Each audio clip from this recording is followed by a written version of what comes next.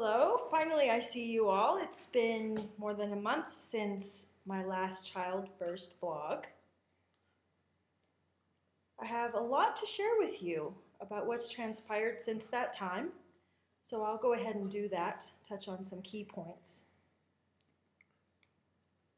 In July, NAD had their annual conference in Louisville, Kentucky.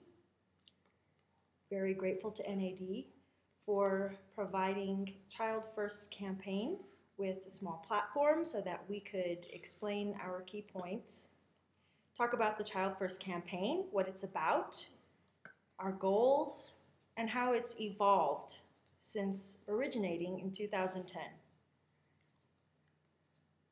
I was very impressed with the level of concern and commitment that the audience demonstrated as a result of our presentation regarding Child First.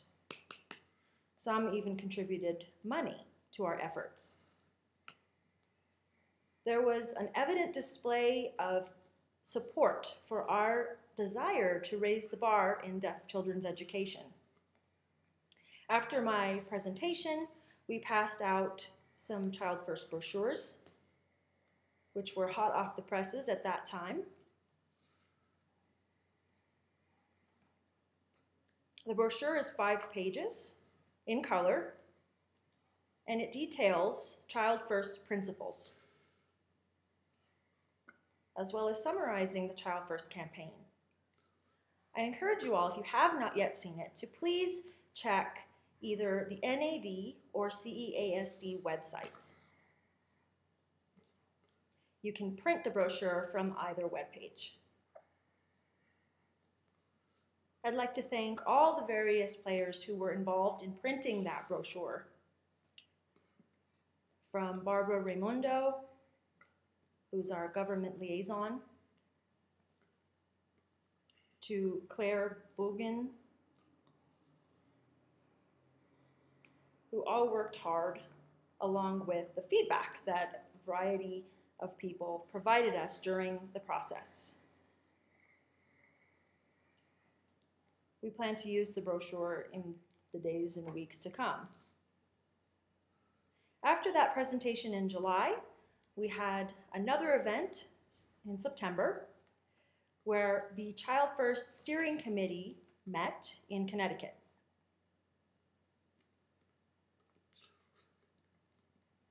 That meeting was over Friday through Sunday. And amongst other things, we looked at identifying the steering committee's roles and the executive committee's roles. As I've shared with you in the past, the executive committee has focused on Child First and it's made up of five individuals. Myself as CEASD president, James Tucker, who is superintendent of the Maryland School for the Deaf, Ed Bosso, who's vice president um, at Gallaudet at the Clerc, Clerc Center, and as well Barbara Raimondo, who is our government liaison. We also have Joe Finnegan, who's the executive director of CEASD. So the five of us have been meeting from time to time since the birth of the Child First program, and it has been com more complex over the time that we first started the group. We've decided to create a steering committee, which includes the five of us, plus six various other superintendents. Claire Bugen, who is from the Texas School for the Deaf. Don Roten, who is from Western Pennsylvania School for the Deaf. Ed Peltier from American School for the Deaf in Hartford, Connecticut. We also have Harold Mowl, who is from the Rochester School for the Deaf. Mark Carlson from the Beverly School for the Deaf in Massachusetts. And we also had Judy Vreeland, who is head of the Learning Center in Massachusetts. So the role of the steering committee is to look at big picture issues to look at the vision of the Child First campaign and to work on a strategic plan. The steering committee, we foresee, will meet about three to four times a year, while the executive committee, made up of the five of us, will focus on more everyday issues and will be in more frequent contact, whether that be through email, through video conference discussions. And with the executive committee, as well as the steering committee, plus the CEASD board and the NAD board, with all of those together, we have quite a bit more manpower and resources connected to the Child First campaign. At the NAD convention in Kentucky, it, would, it was evidenced clearly that NAD and CEASD have a strong partnership, which is getting stronger. Chris Wagner, the president of NAD, and Howard Rosenblum, who's the executive director of NAD, are also members of our steering committee. NAD and CEASD are having ongoing discussions about how to work together in the ways that the Child First campaign can be supported. And I'm happy to announce that in Connecticut, when the steering committee was formed, we were able to develop a new deaf and hard of hearing education bill.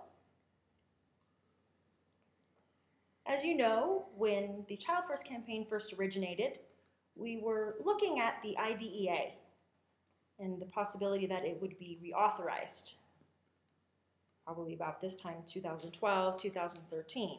But due to the economy becoming the top issue for Congress, the IDEA reauthorization was postponed and might not even happen. So our strategy had to shift, and we decided to move forward with a deaf and hard of hearing education bill. So we're not looking so much at IDEA reauthorization. We want that bill to be a standalone bill, not as part of the IDEA. The blind community students will also have their own bill connected to the unique issues facing blind and visually impaired students. So we in Connecticut plus the CEASD board met and adopted a bill that was developed in part by different attorneys such as Barbara Raimondo, Howard Rosenblum, and other attorneys who got together and had a work session, met several times, and that was adopted. The NAD board also adopted the bill and named it the Deaf and Hard of Hearing Education Bill after Alice Cogswell, the Alice Cogswell Bill. We wanted to align it with the blind community, who had named theirs Macy Sullivan's Bill after Anne Sullivan, who taught Helen Keller. We felt that naming our bill after Alice Cogswell was in line with that. So with the elections completed last week, we now have a clearer picture of those who are in office in our US Congress, and soon we will know who has been selected on the various committees serving on the Hill in Washington, D.C., as well as who the chair people are. We'll know that in January or February. And once those positions are filled and set, then we can move forward with discussions about the Cogswell bill with those key players. We are realistic. We have expectation, of course, that we might, that, that the bill might not become law in the end. Um, we don't have 100% confidence in that, but we know it's a process, it's a work in progress, and that is more important than the final product. So for all we know, if we move forward with this, we might have the bill looking different at the end of the process than it does now. This process is an opportunity for us to have more discussions with the United States Congress and staff and other key players to raise awareness about the unique issues and challenges that are facing deaf and hard of hearing children. We want to raise awareness, providing opportunities for new relationships. I think that will serve us well.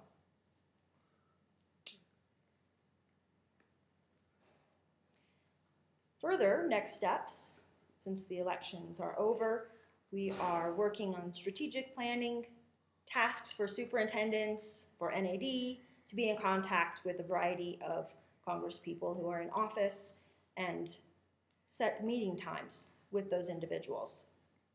Relationship building will be a critical part of our effort to raise awareness and address these serious issues in the field. The steering committee's meeting in Connecticut um, happened earlier this year in September, and we will have another meeting in January. It will be right before the Deaf and Hard of Hearing Education Summit, which is planned by CSUN PepNet.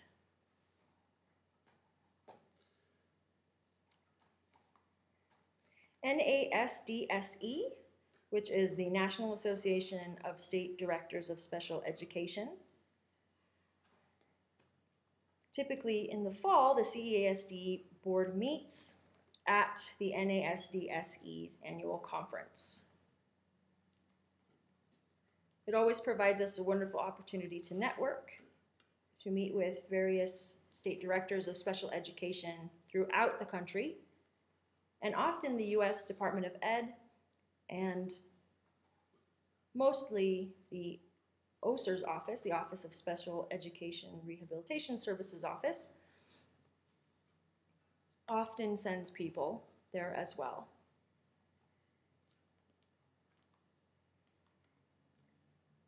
So in Sacramento, at NASDSE's meeting, three people were sent from OSERS to come. So it's a great opportunity to network with those individuals as well. One great thing that happened in Sacramento was that amongst the NASDSE board and the CEASD board, we had a joint meeting. It was a very good an hour and a half discussion on Child First. We're able to pass out brochures and talk about other key issues that affect the deaf community.